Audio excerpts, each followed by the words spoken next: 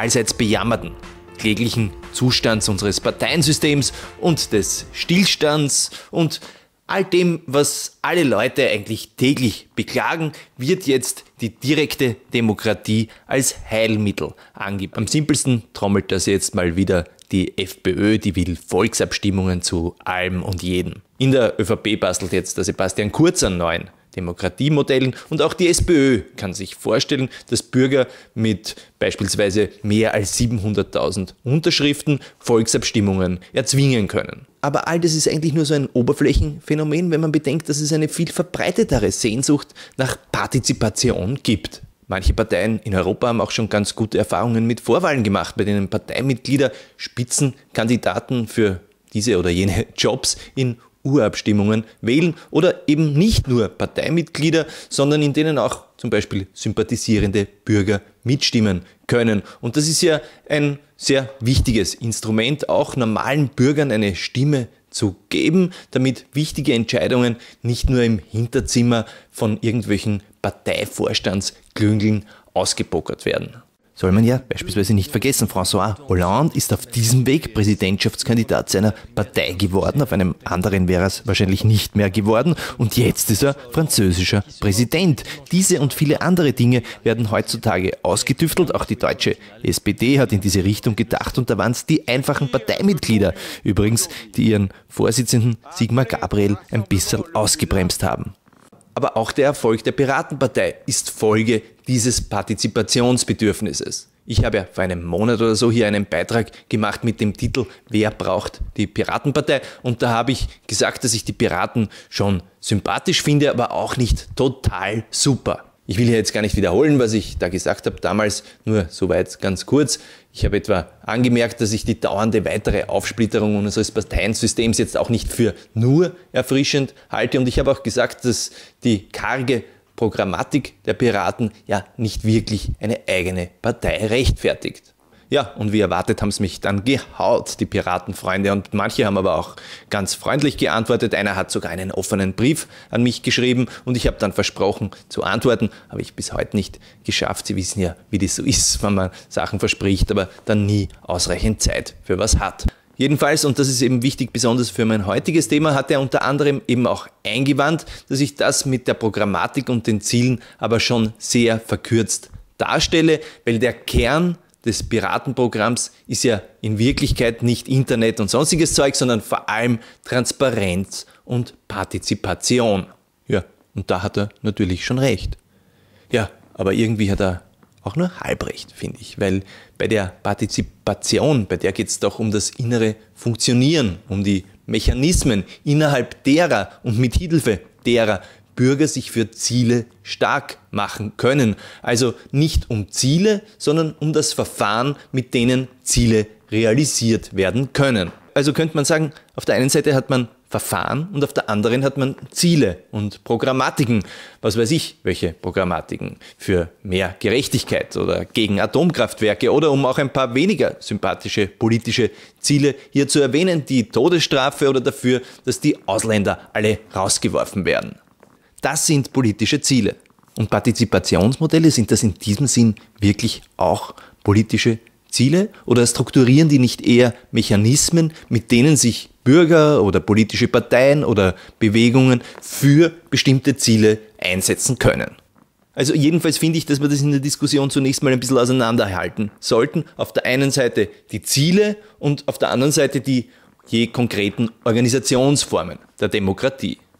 So, aber jetzt könnten Sie natürlich einwenden, und Sie hätten mit diesem Einwand sicherlich recht, dass das eine viel zu schematische Gegenüberstellung ist, weil ja Demokratisierung, mehr Demokratie ja selbst ein Ziel ist und nicht erst seit gestern ist es so, sondern seit den Kämpfen ums Versammlungsrecht und um die Organisationsfreiheit bis hin zur Durchsetzung des allgemeinen gleichen Wahlrechts war das ja immer schon ein wichtiges Ziel von politischen Bewegungen gewesen, mehr Demokratie. Und deswegen gründet sich mein Bauchweh oder meine Skepsis auch aus etwas anderem, aus einem Verdacht oder einem Gefühl vielmehr, nämlich dem Verdacht, dass das Problem der Bürger doch möglicherweise gar nicht ist, dass sie zu wenig partizipieren dürfen, sondern dass die politischen Parteien so sind, wie sie sind und dass das politische Personal ist, wie es ist. Und wenn es da welche gäbe mit packenden Zielen und Elan und klassen Leuten an der Spitze, dann würden sie die ja wählen und würden nicht beklagen, dass sie nicht mitreden können und dürfen. Sie beklagen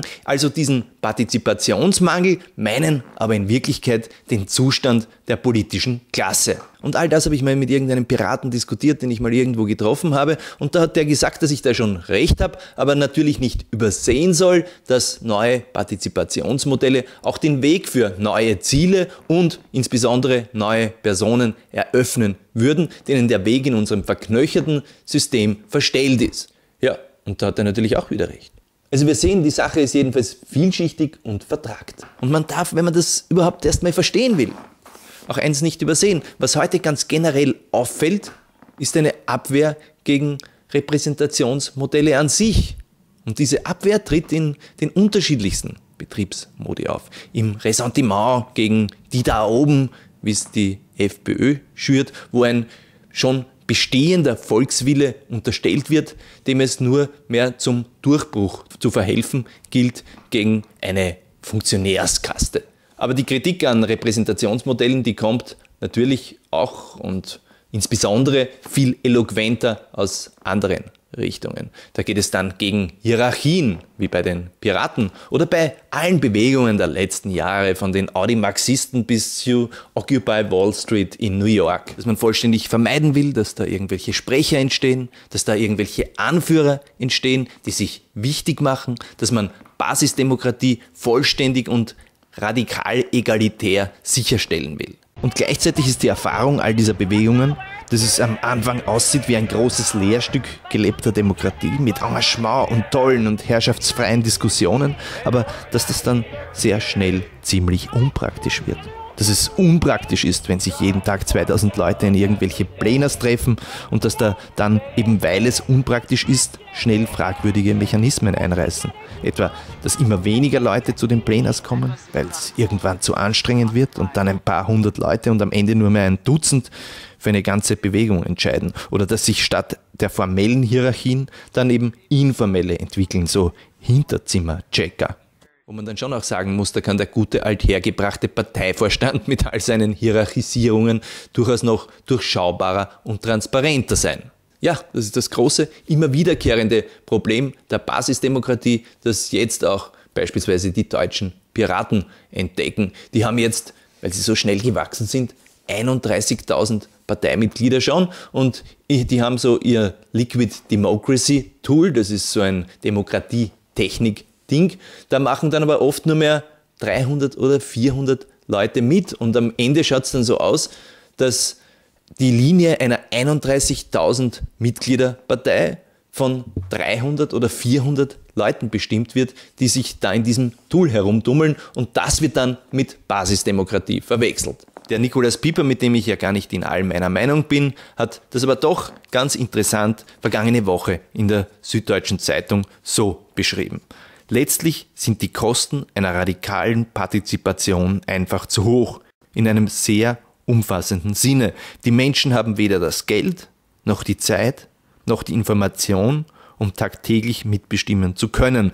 Basisdemokratische Versammlungen werden leicht ausgebeutet von Teilnehmern mit Informations- und Zeitvorsprung und sie haben eine Tendenz, irgendwann repressiv gegenüber abweichenden Meinungen zu werden. All das muss man also zumindest mitdenken, wenn man über neue Partizipationsmodelle nachdenkt. Nämlich erstens zum Beispiel, dass es in arbeitsteiligen Massengesellschaften eben unvermeidbar und ja eigentlich auch ganz okay ist, dass sich die einen beispielsweise hauptberuflich mit Politik und andere mit irgendwas anderem, sagen wir beispielsweise mit Videobloggen, beschäftigen. Gleichzeitig muss aber verhindert werden, dass sich das politische System oder Parteien etwa völlig abschotten in diesem Prozess. Da kann man vieles tun. Vorwahlen in den Parteien sind nur ein wichtiges Element, aber es gibt durchaus auch andere wichtige oder gute Ideen, wie zum Beispiel die Parteienförderung zumindest ein wenig daran zu koppeln, wie viele Mitglieder eine Partei hat, damit man für die Parteien eben noch einen stärkeren Anreiz schafft, Leute dazu zu bringen, bei ihnen mitzutun, womit man dann Mitgliedern hat, die sozusagen in einer demokratischen Partei auch demokratisch mitentscheiden können im besten Fall. Oder anderes Beispiel, dass man Bürger auch an komplizierten Fragen, wie etwa der Budgeterstellung, beteiligen kann. Das hat man schon in vielen Ländern, Provinzen und vor allem auch in Städten, auch in Europa, auch in Deutschland schon ziemlich erfolgreich erprobt. Und auch Volksabstimmungen können natürlich ihre positiven Seiten haben, aber sie haben natürlich auch, wie wir alle wissen, ein paar problematische Seiten. Der Christoph Korher hat im Standard, also in der gedruckten Zeitung, also in dieser auf dem rosaroten Papier, darauf hingewiesen, dass viele Fragen sich einfach nicht als Ja-Nein-Fragen entscheiden lassen und dass es dann oft in Wirklichkeit doch im Gesetzgebungsverfahren oder ähnlichen nicht um Ja-Nein-Fragen geht, sondern um produktive Aushandlungsprozesse, an deren Ende dann Kompromisse stehen. Und man soll auch nicht vergessen, dass die Verwandlung von politischen Gegnerschaften in parlamentarische Verfahren auch eine Zähmung von Leidenschaften bedeutet, die nicht so schlecht ist. Und dagegen unter den Bedingungen einer medialen und politischen Öffentlichkeit, wie wir sie haben, wenn ich mir da vorstelle, drei Volksabstimmungen pro Jahr zu emotionalisierten Themen, wo dann nur mehr mit Leidenschaften, Emotionen und auch Ressentiments gespielt wird, also ob das ein so großer Beitrag zur Demokratisierung der Demokratie wäre, na, das kann man schon fragen.